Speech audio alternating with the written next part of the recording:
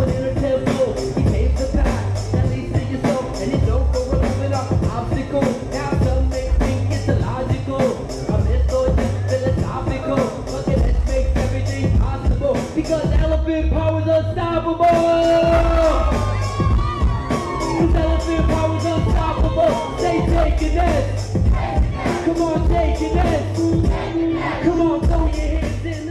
That's the really fun part for us is that we get to like interact with everyone through media. It's not just like you're coming to see us perform, like we're all performing together and it creates this amazing energy where everyone in the crowd, whether you know anything about yoga or not, you're gonna see the words on the screen so everyone knows what to say.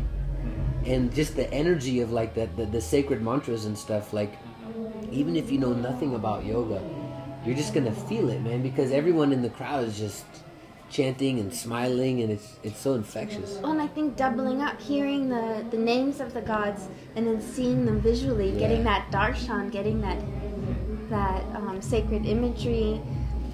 You know, we've been putting in little bits of saints of India, and you know, we just think those those people have so much power. And Shakti just it's said that just a little glimpse of them or a photograph of them can transmit.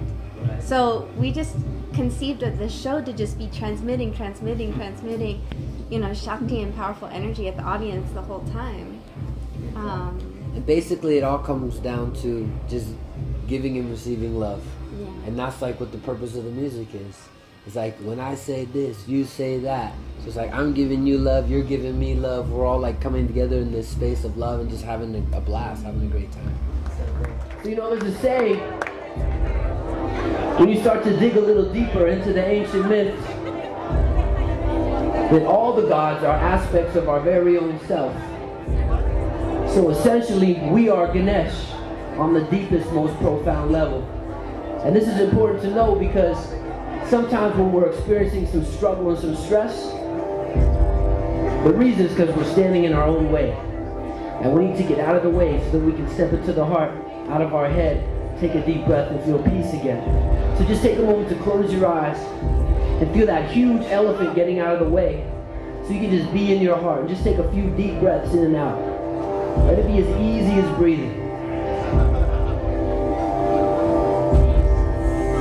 Ganesh is very symbolic for us as yogis. He teaches us a lot just in the, his appearance. You see, Ganesh, your big ears remind us to listen to the still small voice of our own intuition. Your big trunk reminds us to breathe deep so that we can receive the energy we need.